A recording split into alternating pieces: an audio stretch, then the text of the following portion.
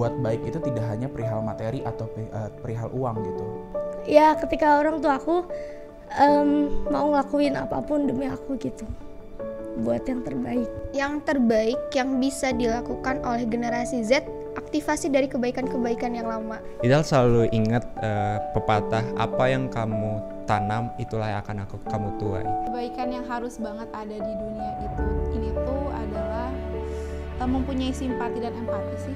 Ketika aku lagi down, kemudian banyak sekali orang-orang di sekitar aku yang mendukung aku untuk menggapai mimpi aku untuk menjadi dokter ini.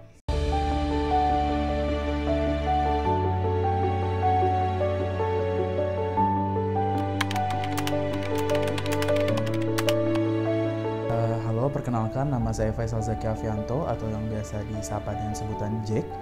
Uh, saya sedang berkuliah saat ini di Universitas Pendidikan Indonesia. Halo semuanya, perkenalkan nama aku Putri dan sekarang jadi mahasiswa akhir di uh, Universitas Pendidikan Indonesia dan di JBZ aku sebagai sekretaris jenderal. Kenalin, nama aku Natasha dari uh, tim humas di Jabar Bergerak Zilenial. Oh, perkenalkan nama aku Mahdia, biasa biasa dipanggil Mahdi kalau di JBZ gitu. Uh, aku sekarang lagi sibuk kuliah dan juga uh, kerja sih, aku part time. Bismillah, uh, izin uh, nama saya Nazrizal Habib. Kalau di JBZ itu uh, panggilannya Izal. Sekarang lagi kuliah S1 di Ilmu Komunikasi Unpas.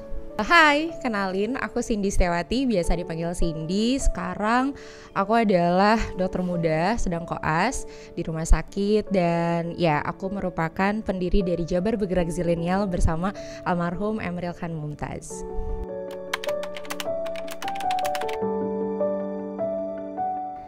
Kebaikan menurut aku itu melakukan sesuatu uh, apa ya? Sesuatu hal yang bermanfaat yang memang bisa bermakna untuk banyak orang sih.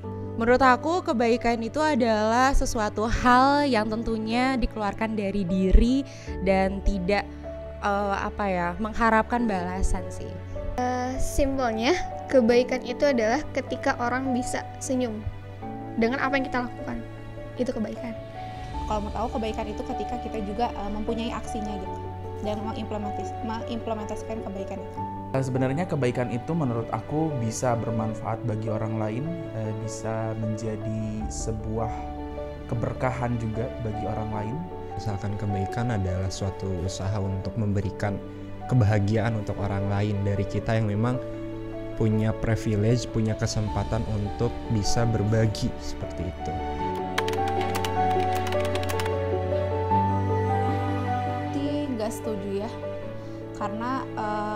Kebaikan itu bisa dilakukan dengan banyak cara.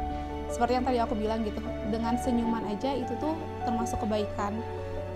Dengan kita menolong aja itu juga udah termasuk kebaikan jadi nggak harus pakai uang gitu untuk berbuat kebaikan. Kan kita tidak punya uang gitu ya kita bisa menyumbangkan uh, pemikiran kita waktu kita dan tenaga kita gitu. Jadi tidak perlu tentang uh, uang.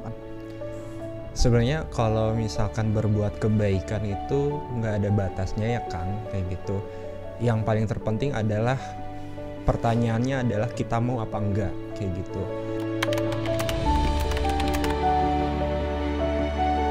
Yang terbaik yang bisa dilakukan oleh generasi Z aktivasi dari kebaikan-kebaikan yang lama kayak contohnya bener tadi gitu berbagi makanan terus kemudian uh, ya ketika covid juga kita bagi-bagi sembako. Itu diaktifasi itu alangkah lebih baiknya. Meskipun uh, nanti akan ada muncul kebaikan-kebaikan yang baru tapi kebaikan yang lama yang sederhana yang memang sudah menjadi ciri khas dari warga Indonesia kan suka berbagi gitu. Itu jangan sampai hilang Kebaikan yang bisa sebagai anak muda kita lakukan kepada orang lain yang paling terpenting adalah respect menurut aku. Karena sekarang banyak banget anak muda yang terkadang menyepelekan kata respect itu. Respect kepada orang tua, respect kepada teman, bahkan kepada orang-orang yang belum kita kenal. Tiba-tiba waktu itu ada uh, platform bukan platform sih kayak organisasi gitu. Dan uh, di sana aku tuh banyak dibantu orang banyak ketemu orang dan banyak disupport juga sama orang gitu. Dan itu tuh bikin aku ngerasa kayak uh, aku bisa bangkit uh, dari keterpurukan aku gitu. Ketika orang tua aku sih aku ingat orang tua aku ya.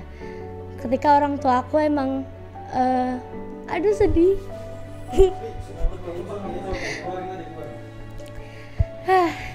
ya ketika orang tua aku em, mau ngelakuin apa pun demi aku gitu. Buat yang terbaik gitu.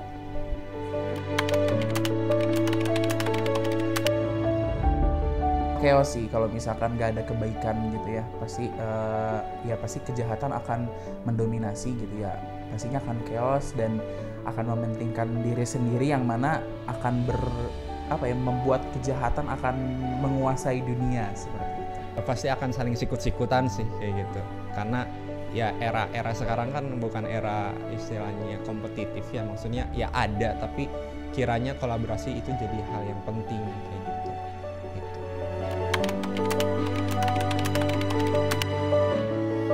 Buat kamu-kamu semua yang sudah selalu melakukan kebaikan, jangan takut untuk berbuat baik meskipun itu setitik debu. Jangan pernah putus kayak gitu. Karena kalau misalkan bukan kita siapa lagi pesan untuk orang-orang di luar jangan pernah berhenti untuk berbuat kebaikan karena kebaikan itu bakal berbuah tapi mungkin gak akan sekarang tapi nanti di masa depan Tentunya terima kasih juga karena sudah mau membantu banyak orang, sudah mau mengelurkan tangannya untuk banyak orang. Terima kasih sudah memberikan senyuman terbaiknya. so as long as you live, don't forget to always do the kindness. Thank you.